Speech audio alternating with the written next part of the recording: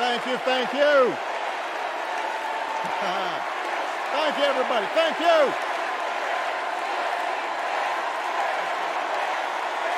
Thank you. Thank you. All right, all right, all right. That's enough. Thank you, thank you. Chicago! It's good to be home.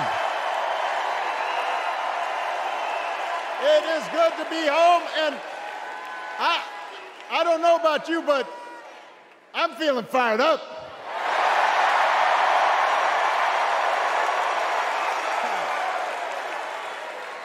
I, I, I am feeling ready to go.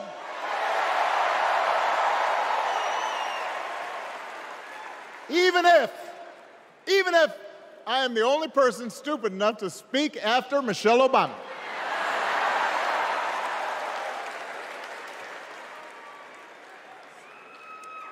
I am feeling hopeful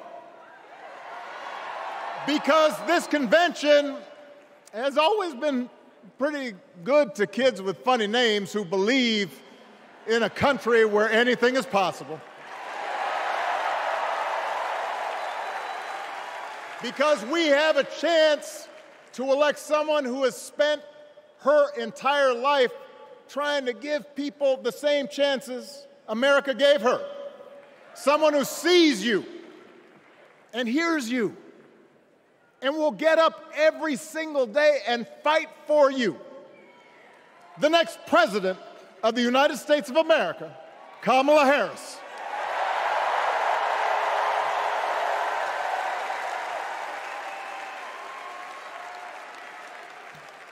It's been 16 years since I had the honor of accepting this party's nomination for president. And I know that's hard to believe because I have not aged a bit. but it's true.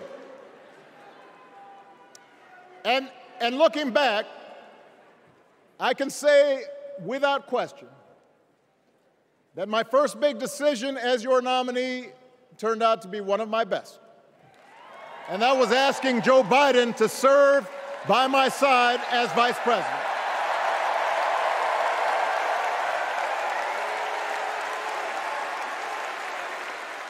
Uh, other, other than some common Irish blood,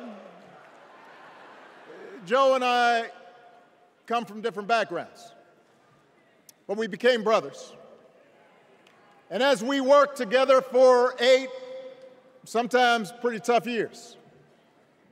What I came to admire most about Joe wasn't just his smarts, his experience, it was his empathy and his decency and his hard earned resilience, his unshakable belief that everyone in this country deserves a fair shot.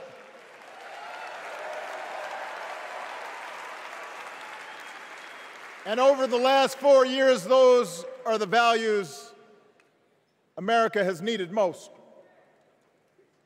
At a time when millions of our fellow citizens were sick and dying, we needed a leader with the character to put politics aside and do what was right.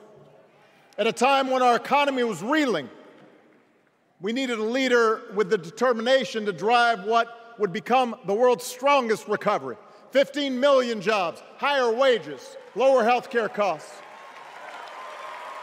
At a time when the other party had turned into a cult of personality, we needed a leader who was steady and brought people together and was selfless enough to do the rarest thing there is in politics, putting his own ambition aside for the sake of the country.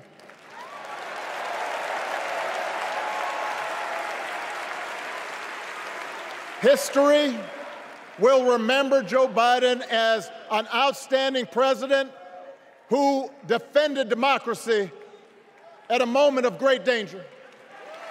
And I am proud to call him my president, but I am even prouder to call him my friend.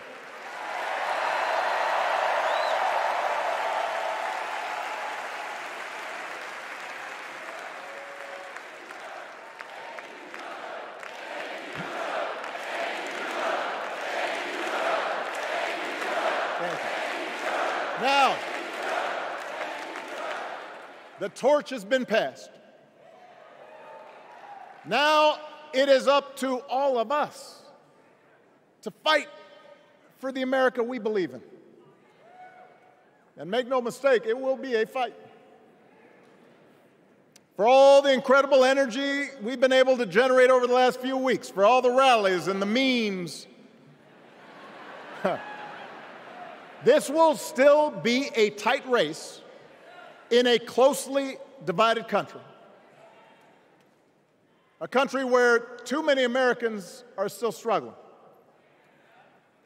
where a lot of Americans don't believe government can help. And as we gather here tonight, the people who will decide this election are asking a very simple question Who will fight for me? Who's thinking about my future, about my children's future, about our future together? One thing is for certain Donald Trump is not losing sleep over that question.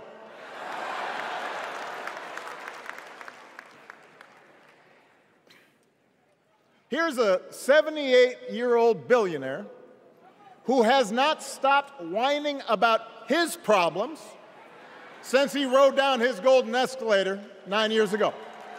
It has been a constant stream of, of gripes and grievances that, that's actually been getting worse now that he's afraid of losing to Kamala. There's the childish nicknames, the crazy conspiracy theories, this weird obsession with crowd sizes.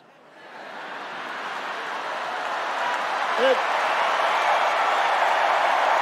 it, I, it just goes on and on and on. The other day, I heard someone compare Trump to the neighbor who keeps running his leaf blower outside your window every minute of every day.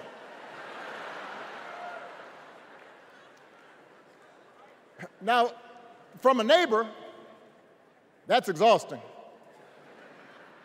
From a president, it's just dangerous. The, the, the, truth is, Donald Trump sees power as nothing more than it means to his ends.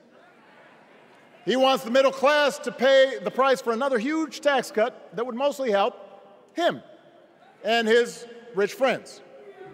He killed a bipartisan immigration deal written in part by one of the most conservative Republicans in Congress that would have helped secure our southern border because he thought trying to actually solve the problem would hurt his campaign. He doesn't. Do not boo. Vote.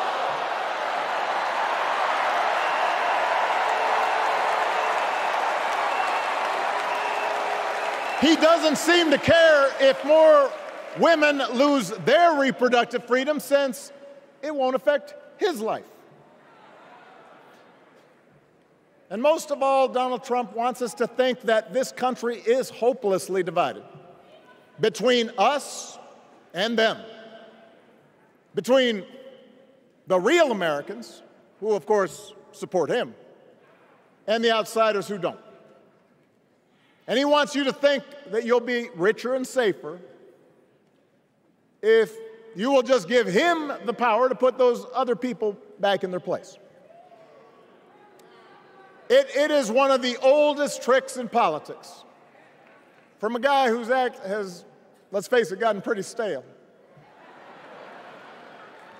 We do not need four more years of bluster and bumbling and chaos we have seen that movie before, and we all know that the sequel is usually worse.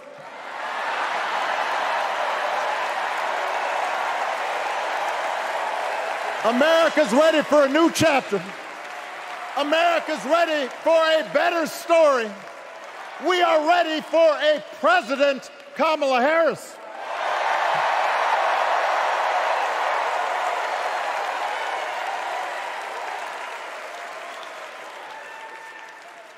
And Kamala Harris is ready for the job. This is a person who has spent her life fighting on behalf of people who need a voice and a champion. As you heard from Michelle, Kamala was not born into privilege. She had to work for what she's got. And she actually cares about what other people are going through. She's not the neighbor running the leaf blower, she's the neighbor rushing over to help when you need a hand. As a prosecutor, Kamala stood up for children who had been victims of sexual abuse. As an attorney general of the most populous state in the country, she fought big banks and for profit colleges, securing billions of dollars for the people they had scammed. After the home mortgage crisis, she pushed me and my administration hard to make sure homeowners got a fair settlement. Didn't matter that I was a Democrat. Didn't matter that she had knocked on doors for my campaign in Iowa. She was going to fight to get as much relief as possible for the families who deserved it.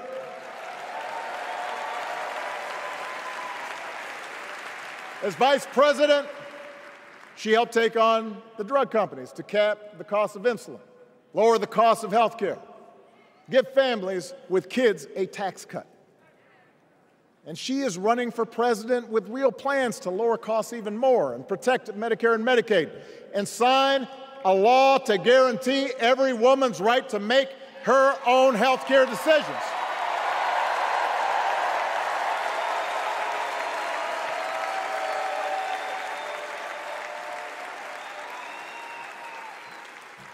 In other words, Kamala Harris won't be focused on her problems she'll be focused on yours.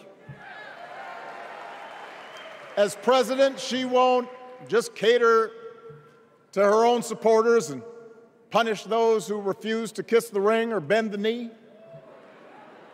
She'll work on behalf of every American. That's who Kamala is. And in the White House, she will have an outstanding partner in Governor Tim Walz.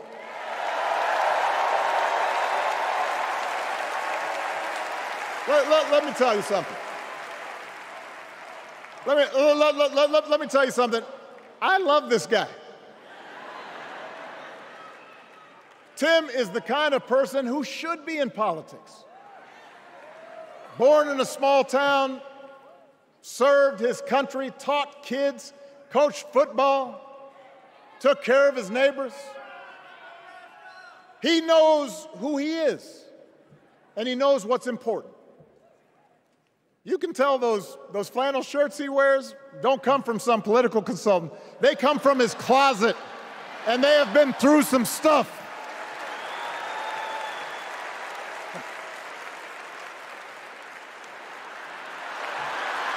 They have been through some stuff. That's right.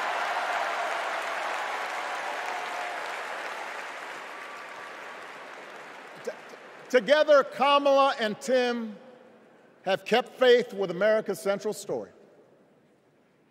A story that says we are all created equal.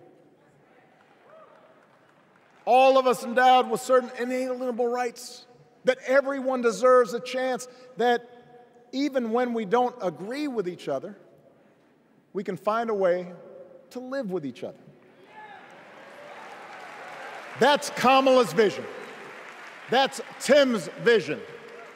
That's the Democratic Party's vision. And our job over the next 11 weeks is to convince as many people as possible to vote for that vision. Now, it won't be easy. The other side knows it's easier to play on people's fears and cynicism, always has been. They will tell you that government is inherently corrupt that, that sacrifice and generosity are for suckers. And since the game is rigged, it's okay to take what you want and, and just look after your own. That's the easy path. We have a different task. Our job is to convince people that democracy can actually deliver. And, and in doing that, we can't just point to what we've already accomplished. We can't just rely on the ideas of the past. We need to chart a new way forward to meet the challenges of today. And Kamala understands this. She knows, for example, that if we want to make it easier for more young people to buy a home, we need to build more units and clear away some of the outdated laws and regulations that made it harder to build homes for working people in this country. That is a priority, and she's put out a bold new plan to do just that.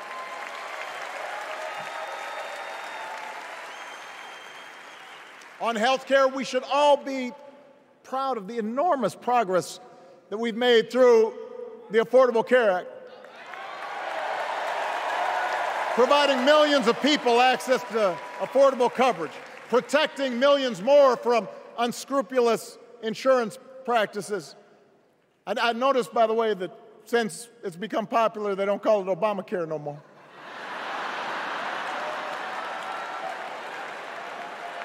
But Kamala knows we can't stop there, which is why she'll keep working to limit out of pocket costs. Kamala knows that if we want to help people get ahead, we need to put a college degree within reach of more Americans.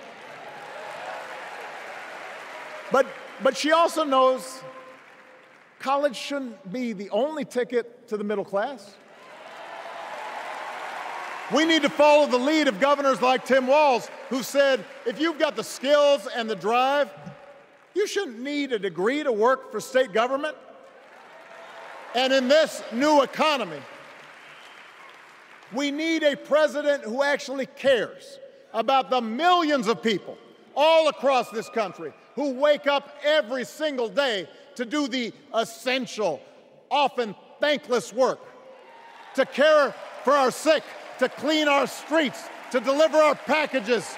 We need a president who will stand up for their right to bargain for better wages and working conditions. And Kamala will be that president.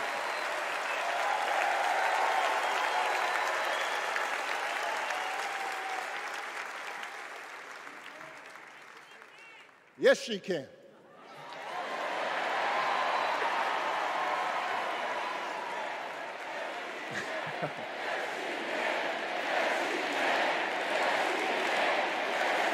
yes, she can.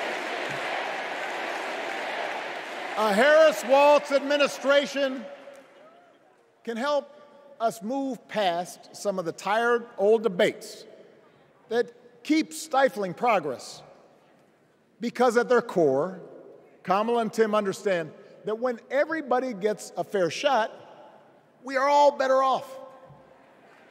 They understand that when every child gets a good education, the whole economy gets stronger. When women are paid the same as men for doing the same job, all families benefit.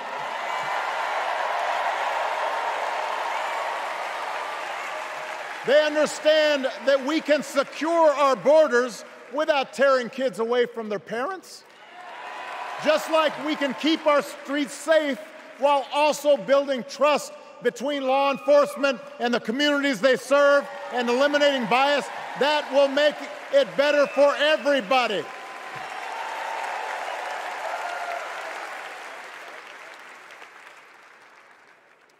Donald Trump and his well heeled donors, they don't see the world that way. For them, one group's gains is necessarily another group's loss. For them, freedom means that the powerful can do pretty much what they please, whether it's fire workers trying to organize a union or put poison in our rivers or avoid paying taxes like everybody else has to do. Well, we have a broader idea of freedom. We believe in the freedom to provide for your family if you're willing to work hard. The freedom to breathe clean air and drink clean water and send your kids to school without worrying if they'll come home. We believe that true freedom gives each of us the right to make decisions about our own life how we worship, what our family looks like, how many kids we have, who we marry. And we believe that freedom requires us to recognize that other people have the freedom to make choices that are different than ours. That's okay.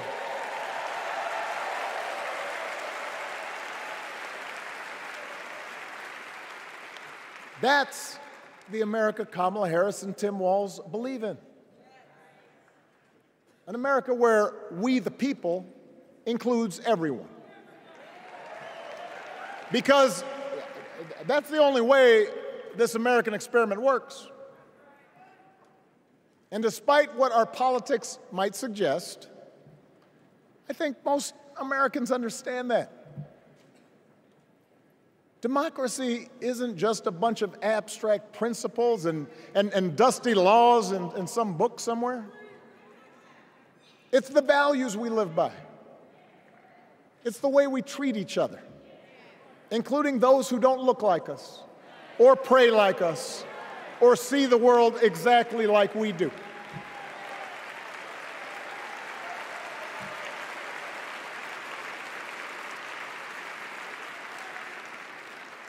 That, that sense of mutual respect has to be part of our message.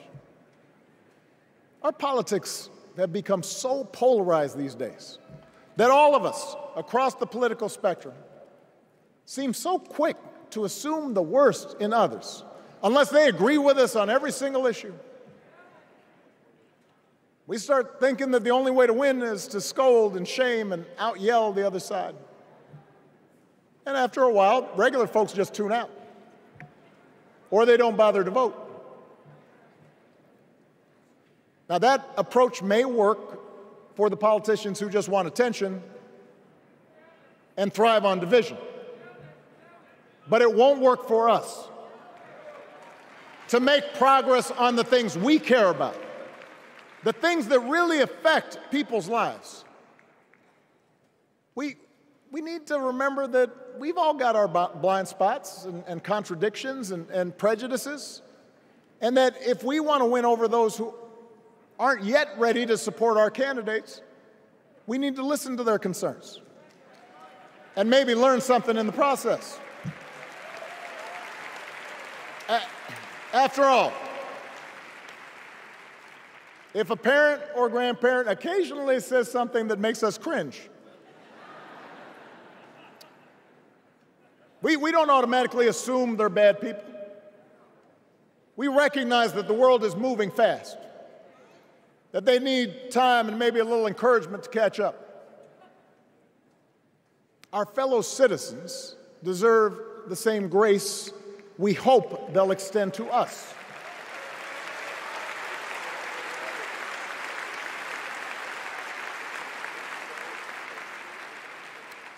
That's how we can build a true Democratic majority, one that can get things done. And by the way, that does not just matter to the people in this country.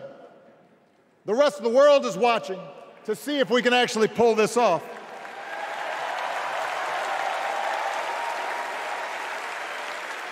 No nation, no society has ever tried to build a democracy as big and as diverse as ours before. One that includes people that over decades have come from every corner of the globe. One where our allegiances and our community are defined not by race or blood, but by a common creed. And that's why when we uphold our values, the world's a little brighter.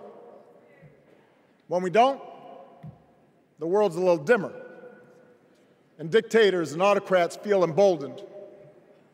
And over time, we become less safe. We shouldn't be the world's policemen, and we can't eradicate every cruelty and injustice in the world. But America can be and must be a force for good. Discouraging conflict, fighting disease, promoting human rights, protecting the planet from climate change, defending freedom, brokering peace. That's what Kamala Harris believes, and so do most Americans.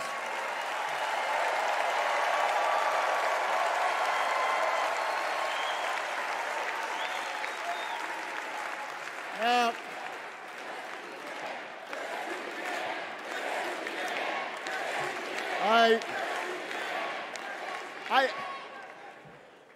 I, I, I, I know these ideas can feel pretty naive right now. We live in a time of such confusion and rancor with a culture that puts a premium on things that don't last money, fame, status, likes. We chase the approval of strangers on our phones. We build all manner of walls and fences around ourselves, and then we wonder why we feel so alone. We don't trust each other as much because we don't take the time to know each other. And in that space between us, politicians and algorithms teach us to caricature each other and troll each other and fear each other. But here's the good news, Chicago. All across America, in big cities and small towns, away from all the noise, the ties that bind us together are still there. We still coach Little League and look out for our elderly neighbors. We still feed the hungry in churches and mosques and synagogues and temples. We share the same pride when our Olympic athletes compete for the gold. Because, because the vast majority of us do not want to live in a country that's bitter and divided. We want something better. We want to be better. And the joy and the excitement that we're seeing around this campaign tells us we're not alone. You know, I've spent a lot of time thinking about this these past few months because, as Michelle mentioned, uh, this summer we lost her mom, Ms. Marian Robinson. And I don't know that anybody has ever loved their mother in law any more than I love mine. Uh, mostly it's because she was funny and wise and the least pretentious person I knew. That, and she always defended me with Michelle when I messed up. I'd hide behind her.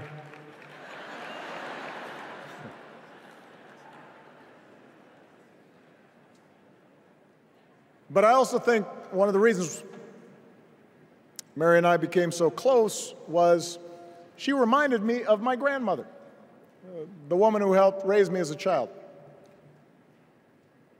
And on the surface, the two of them did not have a lot in common. One was a black woman from right here, south side of Chicago, right down the way. Went to Englewood High School. The other was a little old white lady born in a tiny town called Peru, Kansas. Now, I know there aren't that many people from Peru. And yet they shared a basic outlook on life.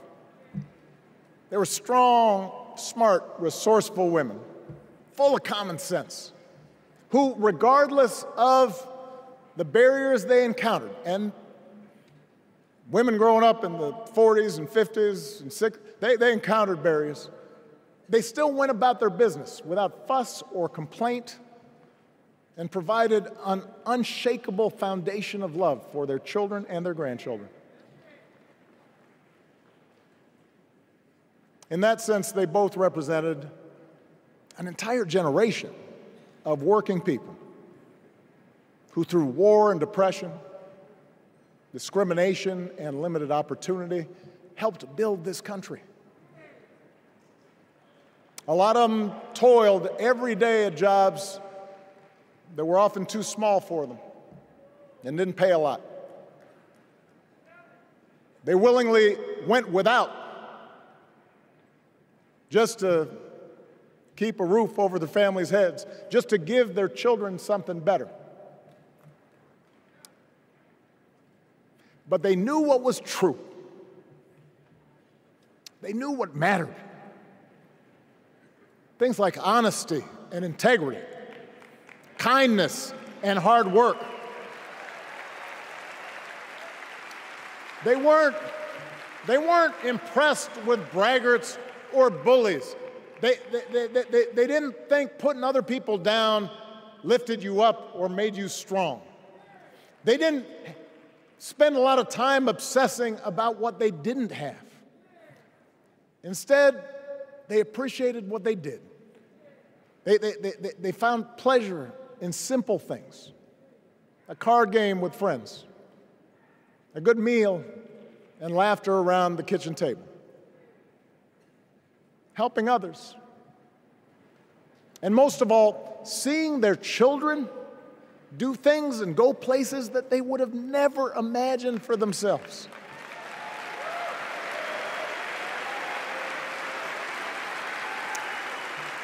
Whether you are a Democrat or a Republican or somewhere in between, we have all had people like that in our lives. People like Kamala's parents, who crossed oceans because they believed in the promise of America. People like Tim's parents, who taught him about the importance of service. Good, hard-working people who weren't famous or powerful, but who managed in countless ways to leave this country just a little bit better than they found it. As much as any policy or program, I believe that's what we yearn for. A return to an America where we work together and look out for each other a restoration of what Lincoln called, on the eve of civil war, our bonds of affection. An America that taps what he called the better angels of our nature. That is what this election is about.